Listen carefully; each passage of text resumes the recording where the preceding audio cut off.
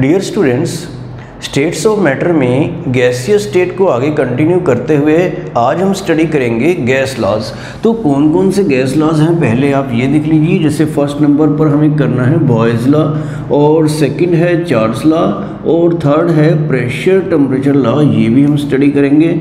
और fourth number पर रहेगा वेगेड्रो लॉ ये फ़र्स्ट चैप्टर में भी आपने इसको रीड किया था। और फिफ्थ जो सबसे इम्पोर्टेंट है, वो क्या है? द गैस इक्वेशन तो अभी हमें ये बॉयज़ लॉ स्टडी करना है और उसके बाद नेक्स्ट लेक्चर में चार्ल्स लॉ स्टडी करेंगे।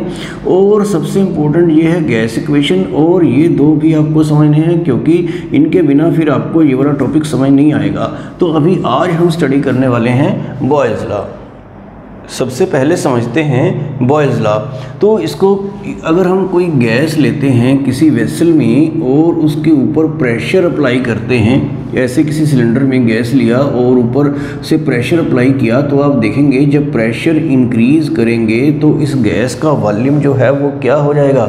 डिक्रीज़ हो जाएगा। तो इसका मतलब ये हुआ कि प्रेशर और वॉल्यूम दोनों एक दूसरे के क्या हैं? इन्वर्सली प्रोपोर्शनल हैं। जैसे जैसे हम प्रेशर इंक्रीज़ करते जाएँगे वॉल्यूम जो है वो डिक्रीज़ होता जाएगा। अगर टम्परेचर चेंज ना करें तो इट मीन्स कि टम्परेचर को अगर हम कॉन्स्टेंट रखते हैं मीन्स फिक्स रखते हैं बीच बीच में चेंज नहीं करेंगे, क्योंकि टेम्परेचर चेंज करने से वॉल्यूम जो है वो गैस का चेंज हो जाता है, जिसको हम आगे स्टडी करेंगे। तो प्रेशर जो है इंक्रीज़ करने से वॉल्यूम जो है वो डिक्रीज़ होगा। इट मीन्स कि वो इसके इन्वर्सली प्रोपोर्शनल होगा। तो यही बॉयल्स लॉ की डेफिनेशन है, जो आपको नोट करनी है, एट कॉन्स्टेंट टेम्परेचर। ये याद रखना है कि जब भी आप बॉयल्स लॉ को डिफाइन करें तो कॉन्स्टेंट टेम्परेचर तो लिखना ही है सबसे पहले। तो at constant temperature the volume of a given mass of a gas is inversely proportional to its pressure इसका मतलब ये है कि वॉल्यूम जो है किसी गैस का, अगर टेम्परेचर कांस्टेंट है तो वो प्रेशर के क्या है? इनवर्सली प्रोपोर्शनल है। तो यहाँ पे हमने इसको ऐसे लिख दिया है। और प्रोपोर्शनलिटी को हटाने के लिए आप कोई कांस्टेंट लगा सकते हैं, जैसे के लगा सकते हैं। तो वॉल्यूम आगे के आ गया और इन्वर्सली प्रोपोर्शनल टू प्रेशर तो यहाँ से आप क्या करेंगे? पी वी इजिकल टू के आ जाएगा। के मीन्स कि क्या हो गया? कांस्टेंट हो गया। तो यहाँ पे आपको याद रखना है कि इसकी जो दूसरी डेफिनेशन है, वो यही रहेगी कि product of pressure and volume is a constant तो अगर आप प्रेशर जो है किसी केस में P1 लेते हैं और उस केस में सपोज़ वॉल्यूम V1 है तो वो वैल्यू जो है वो कोई कांस्टेंट होगी। मींस की फिक्स होगी। अगर आप प्रेशर चेंज करके P2 ले लेते हैं और वॉल्यूम भी चेंज हो जाता है, क्योंकि जब प्रेशर चेंज करेंगे इंक्रीज़ करेंगे तो वॉल्यूम डिक्रीज़ हो जाएगा। तो वो भी कांस्टेंट हो जाएगा। तो यहाँ पर आपको ये समझना है कि ये कांस्टेंट और ये कांस्टेंट सेम ही होगा। वो वैल्यू जो है वो फिक्स रहती है। तो इसका मतलब ये हुआ कि P1 one V one is equal to P two V two तो ये बॉयज़ लॉ का एक मैथमेटिकल फार्मूला आ गया है, जो आपको आगे इन मेरिकल्स में यूज़ करना है। और यहाँ पे ये ज़रूर मेंशन करना है कि एट कांस्टेंट टम्परेचर कि इसमें टम्परेचर जो है वो क्या है? कांस्टेंट है तो ये जो फार्मूला यहाँ पे लिखा है P V is equal to constant इसके अकॉर्डिंग जो है, इसको आप दोबारा डिफाइन कर लीजिए, ये इसकी डेफिनेशन है। ये देखिए एट कॉन्स्टेंट टेम्परेचर जो आपको लिखना ही है the product of pressure and volume of a given mass of a gas is constant तो given mass of a gas क्यों लिखते हैं हमेशा? इसका मतलब ये होता है कि गैस की क्वांटिटी जो है, वो फिक्स है, उसको आपने कम ज़्यादा नहीं करना है। तो जैसे जैसे आप प्रेशर इंक्रीज़ करते जाएँगे वॉल्यूम डिक्रीज़ होता जाएगा, लेकिन दोनों की प्रोडक्ट जो है वो कांस्टेंट ही होगी। इसको आप किसी एक्सपेरिमेंट से आगे समझ सकते हैं।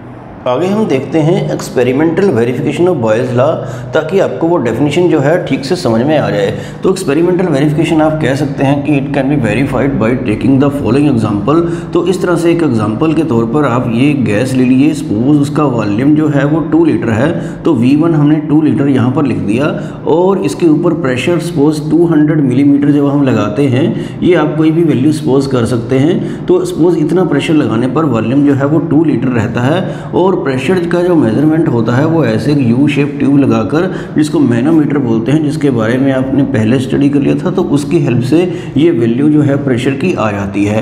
तो हमें जो है वो समझना है कि product of pressure and volume तो वो कितनी है इस पर्टिकुलर केस में? अगर प्रेशर जो है सपोज़ 200 है, और उस प्रेशर पर वॉल्यूम जो है, वो 2 लीटर है तो दोनों की प्रोडक्ट जो है, वो 400 आ जाती है। तो सेकंड केस लेते हैं सपोज़ उसी गैस में मास उसका चेंज नहीं करना है तो ये प्रेशर हम डबल कर देते हैं। तो डबल करना जो है, वो 200 का डबल कितना होता है? सपोज़ 400 हम इसमें कर देते हैं प्रेशर जो पहले का डबल है तो जब प्रेशर डबल होगा तो वॉल्यूम जो है, वो पहले का हाफ़ हो जाएगा। तो ऐसे केस में वॉल्यूम जो होता है, वो वन लीटर हो जाता है। तो अब दोबारा से प्रेशर और वॉल्यूम की प्रोडक्ट करते हैं तो प्रेशर जो है, वो 400 वॉल्यूम जो है, वो वन लीटर तो प्रोडक्ट फिर भी उतनी ही आ जाती है। तो इसका मतलब होता है कि product of pressure and volume is always a constant तो जैसे जैसे आप प्रेशर चेंज करते जाएँगे वॉल्यूम उसके अकॉर्डिंग ही चेंज होता जाएगा और इतना होगा कि वो प्रोडक्ट जो है हमेशा पहले जितनी ही आए। तो इस एक्सपेरिमेंट से इस ला की एक्सपेरिमेंटल वेरिफिकेशन हो जाती है। एक्सपेरिमेंटल वेरिफिकेशन के बाद हमें स्टडी करना है बॉयल्स लॉ का ग्राफिकल वेरिफिकेशन तो ग्राफिकल वेरिफिकेशन हम कैसे कर सकते हैं? तो यहाँ पे आपको नोट करना है this law can be verified graphically by plotting तो तीन तरह से आप कर सकते हैं। मैं तीन तरह से समझाऊँगा, आपको जो भी उसमें से ईजी लगता है, वो आपको लर्न कर लेना है। तो फ़र्स्ट है pressure versus one by volume तो अगर प्रेशर को वन बाई वी के साथ प्लॉट करें तो देखिए क्या होता है। आपने ये स्टडी किया है कि वॉल्यूम प्रेशर के क्या है? इन्वर्सली प्रोपोर्शनल है। वॉल्यूम प्रेशर के इन्वर्सली प्रोपोर्शनल है या प्रेशर वॉल्यूम के इन्वर्सली प्रोपोर्शनल है? वो एक ही बात है। तो P जो है, V के तो इन्वर्सली प्रोपोर्शनल है, लेकिन वन बाई वी के तो डायरेक्टली है। तो इसका मतलब P अगर इंक्रीज होगा तो वन बाई वी भी क्या होगा? इंक्रीज होगा। क्योंकि हमने ये ग्राफ वन बाई वी के साथ प्लॉट किया है तो P V के साथ तो इन्वर्सली होता है, लेकिन वन बाई वी के तो डायरेक्टली हो जाता है। अगर आप वन बाई वी की वैल्यू वैल्यू जो है वो फाइंड आउट कर लेते हैं। तो जब P versus one by V जो है वो प्लॉट करते हैं, ये एक्स एक्सिस है, ये वाई एक्सिस है तो लाइन पासिंग थ्रू ओरिजिन जो है वो इस टाइप से मिलती है। तो ये आप जब मैथमेटिक्स में कोऑर्डिनेट ज्योमेट्री स्टडी करेंगे तो ग्राफ की नॉलेज आपको हो जाएगी। तो p versus one by V से straight line passing through origin is obtained इसको ओरिजिन बोलते हैं। तो इस तरह से एक लाइन मिलती है जो ये शो करती है कि ये दोनों एक दूसरे के क्या हैं डायरेक्टली प्रोपोर्शनल तो फ़र्स्ट ग्राफ तो ये है जो आपको लर्न कर लेना है और सेकंड देखते हैं। पी वी वर्सेस पी आपको पता है कि इसमें आपको ये बताया गया था कि पी वी जो रहता है, वो क्या रहता है? कांस्टेंट रहता है। इसका मतलब ये हुआ कि प्रेशर जितना मर्ज़ी करें पी वी तो फिक्स रहेगा। तो अगर हम पी वी को ऐसे पी के अगेंस्ट प्लॉट करेंगे तो पी जितना मर्ज़ी इंक्रीज करें पी वी जो है वो सेम रहेगा। तो सेम के लिए ये लाइन जो है पैरेलल टू एक्स एक्सिस आ जाती है। ये आपको नोट करना है। तो कि पी वी वर्सेज पी जब प्लॉट करते हैं, ये straight line parallel to X axis is obtained और ये आप यहाँ पर दिखा देंगे तो ये सेकंड जो है ग्राफ ये हो गया। और थर्ड देखते हैं। थर्ड में हमने प्लॉट किया है वॉल्यूम वर्सेस प्रेशर अगर वॉल्यूम को प्रेशर के वर्सेस प्लॉट करें तो आपको पता है कि जैसे जैसे प्रेशर इंक्रीज करेंगे वॉल्यूम जो है वो डिक्रीज होगा और इस तरह की कर्व आएगी जिसको हाइपर बोला बोलते हैं. इस तरह की कर्व को तो पैराबोला बोलते हैं, वो मैथमेटिक्स में आपने पढ़ रखा है. तो ये कर्व जो है कहलाती है हाइपर बोला तो ये आपको नोट कर लेना है कि वॉल्यूम वर्सेज प्रेशर के केस में एक curve in the form of hyperbola is obtained तो इस तरह से ये तीसरे नंबर का है तो ये ग्राफिकल वेरिफिकेशन के लिए आप कोई सा भी ग्राफ जो आपको ईजी लगता है, वो प्लॉट कर सकते हैं।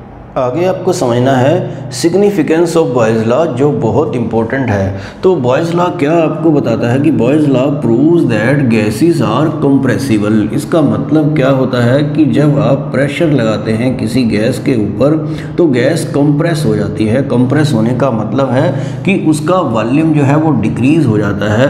तो आपको ये पता ही है कि प्रेशर जो है वॉल्यूम के क्या है? इनवर्सली प्रोपोर्शनल है। तो जब इसके ऊपर प्रेशर लगाया जाएगा और वॉल्यूम कम हो जाएगा तो गैस के मॉलिक्यूल जो हैं वो क्लोज आ जाते हैं। क्लोज आने से गैस ज़्यादा डेंस हो जाती है मींस कि उसकी डेंसिटी जो है वो क्या हो जाती है?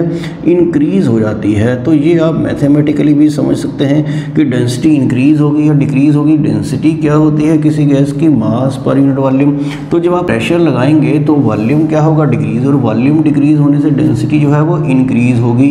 तो इसका मतलब ये हुआ कि प्रेशर इंक्रीज़ करने से डेंसिटी जो है वो इंक्रीज़ होती है। तो इस बात को आप बड़े ध्यान से समझ लीजिए, क्योंकि प्रेशर इंक्रीज़ करने से वॉल्यूम तो डिक्रीज़ होगा और वॉल्यूम डिक्रीज़ होने से डेंसिटी इंक्रीज़ हो जाती है।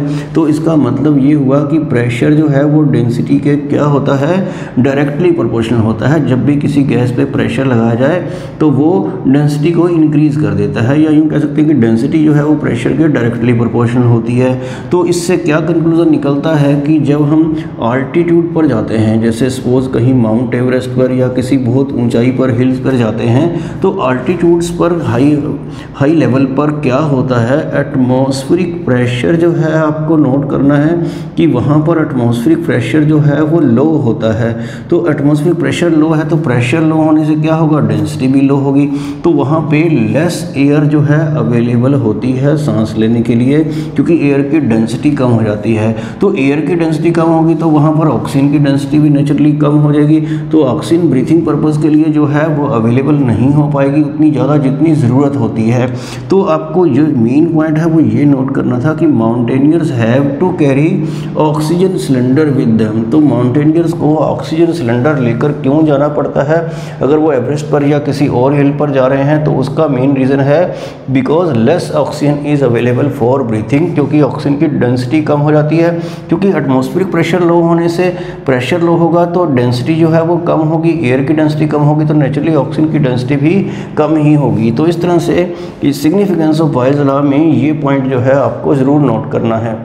आगे हम स्टडी करेंगे numericals on the basis of Boyle's law तो फ़र्स्ट क्वेश्चन देखते हैं सबसे पहले a vessel of 120 millilitre capacity contains a mass of gas at 25 degree Celsius and 700 millimetre pressure The gas was transferred to other vessel having volume 175 milliliter. Calculate the pressure of gas at 25 degree Celsius तो आप देख रहे हैं कि temperature दोनों cases में same ही है तो टेम्परेचर कांस्टेंट है तो टेम्परेचर कांस्टेंट है तो इसमें हम बॉयल्स लॉ लगाएँगे। तो ये आपको दिमाग में रखना है ताकि आपको पता चले कि फार्मूला जो है वो कौन सा लगने वाला है।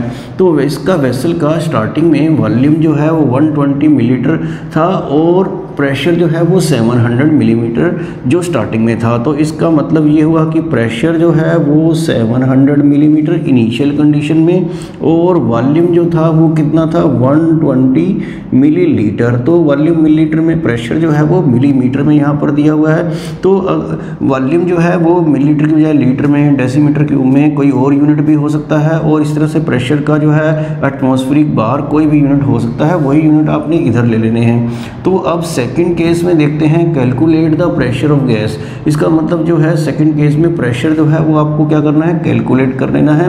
और गैस को क्योंकि दूसरे वेसल में ट्रांसफ़र किया गया है, जिसका वॉल्यूम था 175 इट मीन्स कि सेकंड केस में जो सेकंड कंडीशन रही होगी, उसमें 175 मिलीलीटर जो है, वो वॉल्यूम आएगा।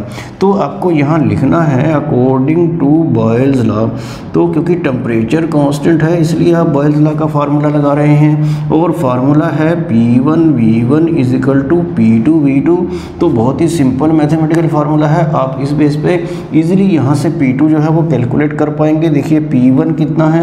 700 और वॉल्यूम जो है वो कितना है? 120 वी वन जो है। और पी टू आपको कैलकुलेट करना है और वी टू जो है वो 175 है। तो यहाँ से बड़ा इजीली जो है आप पी टू जो है वो कैलकुलेट कर पाएँगे। तो वो क्या आएगा? सेवन हंड्रेड इंटू वन और डिवाइडेड बाई क्या होगा? 175 तो इस तरह से आप इसको सिंपली कैलकुलेट कर लेना और कैलकुलेट करके ये आ जाएगा 500 और यूनिट जो है, आपको बिल्कुल ठीक लिखने हैं क्योंकि ये मिलीमीटर में था तो दूसरा प्रेशर भी किसमें आएगा? मिलीमीटर में. तो इस तरह से ये फार्मूला लगाकर आप न्यूमेरिकल्स को बहुत ईजिली कर सकते हैं. सेकेंड क्वेश्चन देखते हैं. तो इसकी स्टेटमेंट देखिए 500 hundred M L of a gas has a pressure of 180 eighty millimetre of mercury H G का मतलब है मरकरी है मिलीमीटर में प्रेशर जो मरकरी की हेल्प से ही मेज़रमेंट उसकी की जाती है। तो एट 298 केल्विन है इतना प्रेशर और आगे लिखा है find its volume at 750 millimetre mercury तो ये, इसका मतलब मिलीमीटर का मतलब है कि ये आपको प्रेशर दिया है और आपको वॉल्यूम जो है वो फाइंड आउट करना है। तो इसको कैसे सोल्व करेंगे? तो देखिए, ये यहाँ पर क्या है? वॉल्यूम है। वॉल्यूम तो 500 हंड्रेड है जो स्टार्टिंग में दिया था और प्रेशर जो है वो 180 है। तो P1 जो है वो 180 मिलीमीटर यहाँ पे मैं लिख देता हूँ। ऐसा कोई ज़रूरी नहीं है कि आपको पहले प्रेशर लिखना है और बाद में वॉल्यूम लिखना है। आपको जैसे अच्छा लगे वैसे कर सकते हैं। और आगे लिखा है, फाइंड इट्स वॉल्यूम। तो वॉल्यूम जो है आपको फाइंड आउट करना है और प्रेशर जो है वो सेकंड केस में वो कितना है? 750 मिलीमीटर है। तो आपने वही लिखना है according to Boyle's law P one V one is equal to P two V two आपको पता चल गया होगा कि इसमें टेम्परेचर एक ही दे रखा है टू नाइन्टी तो दोनों केसेस में टू नाइन्टी है तो जब टेम्परेचर कांस्टेंट हो, तभी आपको ये फार्मूला जो है वो इम्प्लीमेंट करना है। तो यहाँ से देखिए आप P1 कितना है? 180 और वॉल्यूम जो है वो कितना है? 500 और आपको फाइंड आउट क्या करना है? ये V2 फाइंड आउट करना है। P2 तो आपको दे रखा है। तो यहाँ से आप बड़ा इजीली जो है वो V2 फाइंड आउट कर पाएँगे। तो ये आप इस, यहाँ से इसको डिवाइड कर देंगे 750 से। तो ये 120 जो आ जाएगा, आप कैलकुलेट करके चेक कर लेना एक बार। तो यूनिट जो है आपको ध्यान रखना है कि ये वॉल्यूम जो है वो मिलीलीटर में है। थर्ड न्यूमेरिकल देखते हैं। ये है a balloon is filled with hydrogen at room temperature आगे है it will burst if pressure exceeds point two bar अगर इतना प्रेशर लगा दिया जाए तो ये जो है ब्रस्ट हो जाएगा मीन्स कि वो बैलून फट जाएगा। आगे है if at one bar pressure the gas occupy 2.27 litre volume up to what volume can the balloon be expanded किस हद तक आप बैलून को एक्सपेंड कर सकते हैं ताकि वो, वो ब्रस्ट ना हो फटे ना? तो वो प्रेशर जो है जो लास्ट में आप मैक्सिमम कर सकते हैं उस बैलून के हिसाब से वो पॉइंट टू बार है। तो यहाँ पर जैसे हम लिखते थे पहले पी वन वी वन इस टाइप से, और इधर लिखते थे पी टू वी टू तो यहाँ पर आपको नोटिस करना है कि प्रेशर जो बाद वाला है, वो इसमें पहले दे रखा है। तो कि यहाँ तक आप जो है प्रेशर को एक्सपेंड कर सकते हैं तो वो पॉइंट टू है, और प्रेशर के यूनिट जो है आपकी बार बार में दे रखे हैं। तो ये आपको ध्यान रखना है। और what volume can the balloon भी एक्सपेंडेड का मतलब है कि आपको वॉल्यूम जो बाद वाला है, वो कैलकुलेट करना है। और ये जो है दिया है नॉर्मली कंडीशन में कि वन बार प्रेशर है तो प्रेशर जो है अभी कितना है? वन बार और इस प्रेशर पर गैस जो ऑक्यूपाई करती है वॉल्यूम जो है वो 2.27 लीटर करती है। तो अगर वॉल्यूम यहाँ लीटर में है तो नेचुरली यहाँ भी लीटर में ही आंसर आपका आएगा। तो ये स्टेटमेंट थोड़ा सा टिपिकल है, ये एन क्वेश्चन है। एन बुक में सोल्ड है, आपको उसको देख सकते हैं। और यहाँ पर जो है इसकी लैंग्वेज थोड़ा सा टिपिकल आपको लग रही होगी कि जो बाद में जो कंडीशन है, ये आपको पहले दे दी है और पहले वाली कंडीशन आपको बाद में दी है तो आपको लैंग्वेज को बहुत ध्यान से इसकी समझना है। तो वो एक लिमिट दे रखी है कि इतना आप प्रेशर कर सकते हैं। तो उस पर बताइए कि वॉल्यूम कितना होगा। इसका मतलब वो P2 और V2 के बारे में बात हो रही है। तो यहाँ आप फार्मूला लगा लीजिए P one V one equal to क्या होगा? P2 V2 तो आपको लिखना भी है अकॉर्डिंग टू बॉयज़ ला तो यहाँ पर आप क्या लिखेंगे? प्रेशर तो है वन और वॉल्यूम जो है टू है लीटर में, और इजिकल टू P2 P2 कितना है? पॉइंट टू, और वॉल्यूम जो है आपको फाइंड आउट करना है। तो बस यहाँ से आप वॉल्यूम निकाल लेना, one into two point two seven divided by point two तो आप इसको सोल्व कर लेना तो ये approximately eleven point three five आ जाएगा, और वॉल्यूम का जो यूनिट रहेगा वो क्या रहेगा? लीटर। तो इस तरह से इस क्वेश्चन को आपको बड़े ध्यान से करना है। नेक्स्ट क्वेश्चन देखते हैं। ये है a sample of gas has volume 100 decimetre cube तो यहाँ पर वॉल्यूम जो है वो डेसीमीटर क्यूब में दिया है और ये मैंने आपको पहले भी बता रखा है कि डेसीमीटर क्यूब और लीटर जो है वो एक ही बात होती है, लेकिन आपको यहाँ पे ये डेसीमीटर क्यूब लिखा ही रहने देना है। एट वन बार प्रेशर तो प्रेशर जो है यहाँ पर बार में दे रखा है एट ट्वेंटी डिग्री सेल्सियस आगे है हाउ मच एडिशनल प्रेशर तो ये एडिशनल वर्ड यूज़ किया हुआ है, यहाँ पे इसका भी मतलब आपको समझना है how much additional pressure must be applied in it to reduce reduce means कम करना reduce its volume to 10 decimetre cube volume को घटा के यहाँ से लेकर 10 डेसीमीटर क्यूब तक लेके आना है। इसका मतलब ये पहला वाला वॉल्यूम है और ये बाद वाला। वो इनिशियल और ये फाइनल ऐसे इसको बोलते हैं। At the same temperature same temperature का मतलब है कि इसमें टेम्परेचर कॉन्स्टेंट है। तो नेचुरली ये बॉयज़ लॉ का ही न्यूमेरिकल है, क्योंकि बाद में आप दूसरे लॉज भी पढ़ लोगे तो फिर उनके भी न्यूमेरिकल होंगे। तो आपको कन्फ्यूज़न हो सकता है कि कौन सा फार्मूला इसमें लगाना है तो वो बड़े ध्यान से आपको समझना है। तो यहाँ पर जो है, हम पहले की तरह ये पी वन वी वन ऐसे लिख देते हैं और फाइनल कंडीशन जो है वो P two Y V two ऐसे लिखेंगे। तो वॉल्यूम जो है स्टार्टिंग में कितना है? हंड्रेड डेसीमीटर क्यूब तो यहाँ पर हंड्रेड डेसीमीटर क्यूब लिख देता हूँ और यहाँ पर क्या दे रखा है? बार जो है वन बार दे रखा है। तो नेचुरली वो बार में है तो वो प्रेशर ही होगा। तो ये तो है स्टार्टिंग की कंडीशन और आपको लिखा है आगे एडिशनल प्रेशर मीन्स कि निकालना तो प्रेशर ही है और वॉल्यूम जो है आपकी बार दे रखा है कितना 10 डेसीमीटर क्यूब तो फार्मूला आप वही लगा दीजिए P one V one equal to क्या होगा? पी टू वी टू तो पी वन कितना है? वन और वॉल्यूम जो है वो कितना है? हंड्रेड तो यहाँ से पी टू पी टू जो है आपको निकालना है और वॉल्यूम जो है वो आपकी बार कितना है? टेन है। तो यहाँ से जब पी टू आप इसको सोल्व करेंगे, ये टेन इधर डिवाइड हो जाएगा तो पी टू जो है वो टेन आ जाएगा। प्रेशर जो यहाँ पर आना चाहिए और उसके यूनिट क्या होंगे? बाहर तो टेन बाहर जो है प्रेशर आपको अप्लाई करना है। लेकिन इसमें लिखा है एडिशनल प्रेशर तो इसका क्या मतलब है कि प्रेशर वन बार तो ऑलरेडी था और आपने एक्स्ट्रा कितना लगाया? तो आपने टोटल टेन कर दिया। तो एडिशनल प्रेशर जो है, वो कितना लगाया है? इट मीन्स कि आपने टेन माइनस वन करके कर देते हैं। तो वन नाइन बार जो है प्रेशर और लगाया। वन में तभी वो कितना हुआ? टेन तो इस तरह जब कभी कहीं टिपिकल वर्ड्स कई बार यूज़ होते हैं तो वो आपको बड़े ध्यान से समझने हैं। तो इस तरह के न्यूमेरिकल्स आपको बॉयज़ लॉ पे प्रैक्टिस ज़रूर कर लेनी है।